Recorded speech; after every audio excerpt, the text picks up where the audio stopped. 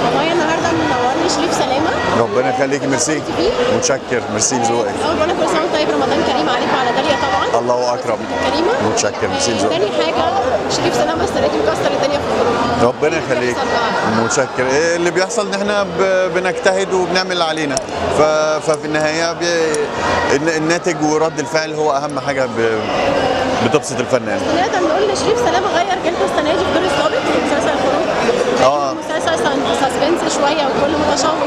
وبيتابع الحلقات. تقريبا تقريبا. آه ده دور جديد عليا وأنا آه، ركزت فيه عشان أطلع آه، شخصية جديدة ما عملتهاش قبل كده.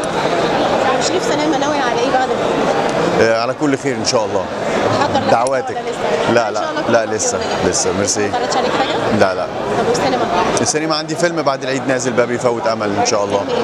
الباب يفوت أمل آه، تأليف مجدي الكوتش آه، إخراج أحمد البنداري الأول تجربة سينمائية ليه مخرج واعد وعامل شغل كويس قوي.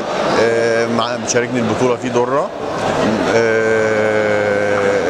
إنتاج شادوز أحمد حلمي وايهاب السرجاني.